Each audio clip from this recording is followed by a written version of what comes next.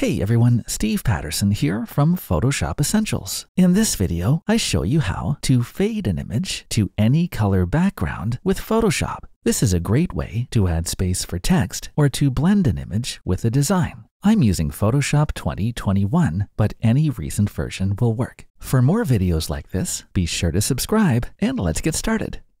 We'll start by creating a new document and then we'll place an image into it but the chapter times are in the description if you want to jump ahead. If you're on Photoshop's home screen, create a new document by clicking the Create New button. Or if you're on the main interface, go up to the File menu and choose New.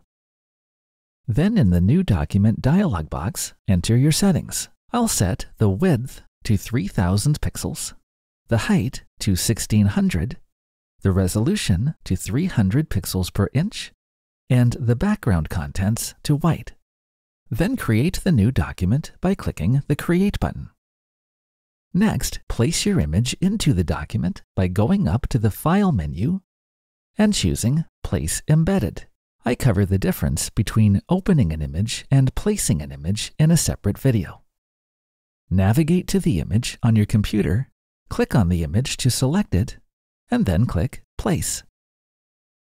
Photoshop places the image into the document, and it opens the Free Transform command so we can resize the image and move it into place. If your image is larger than the document size, Photoshop will automatically resize it to fit, as it did here. To make more room for the image to fade into the background, move your subject over to the side by pressing and holding the Shift key on your keyboard and dragging the image left or right.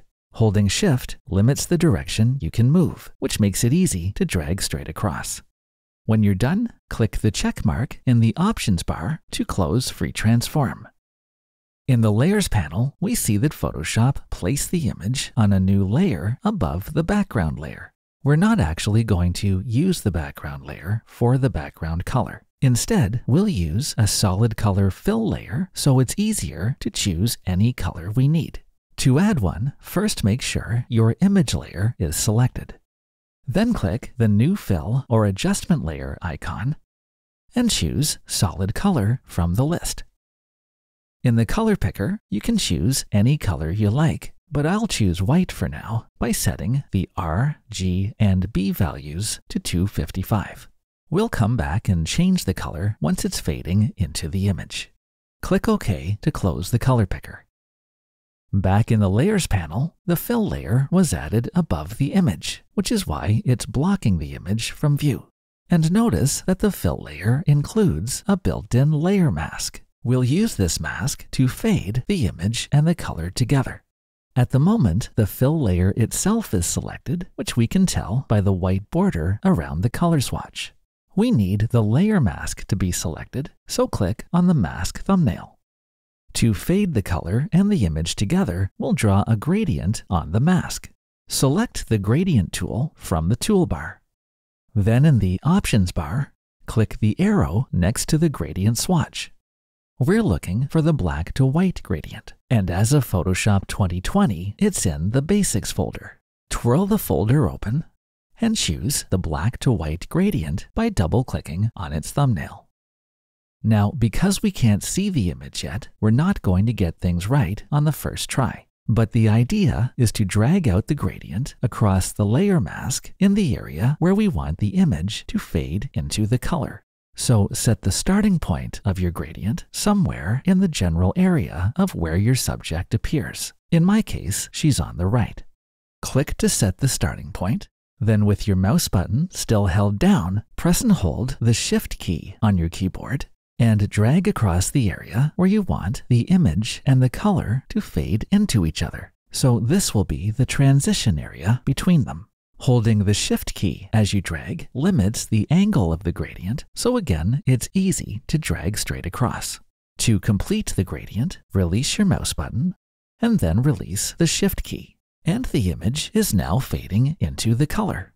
We can see the gradient in the Layer Mask thumbnail in the Layers panel. The black area of the mask is where the fill layer is hidden, allowing the image below it to show through. The white area is where the fill layer is visible and blocking the image from view. and the gradient in between is where they fade together. You can also view the layer mask in the document itself by holding the Alt key on your keyboard or the Option key on a Mac and clicking the layer mask thumbnail. And now it's easier to see the black area where the image is showing through, the white area where the color is visible, and the transition area between them. Hide the mask by holding the Alt or Option key and clicking again on the layer mask thumbnail. Now, if you didn't draw the gradient in exactly the right spot, that's okay because you can just draw another one. In fact, you can redraw the gradient as many times as you need. Each new gradient you draw will replace the previous one. I'll click to set my starting point below the woman's eye. Then with my mouse button still held down, I'll press and hold the Shift key on my keyboard and I'll drag over to the left. But notice when I release my mouse button that I went too far and we can see where the image ends. So I'll try one more time, starting in the same spot, but this time dragging a shorter distance. I'll release my mouse button, and that looks better.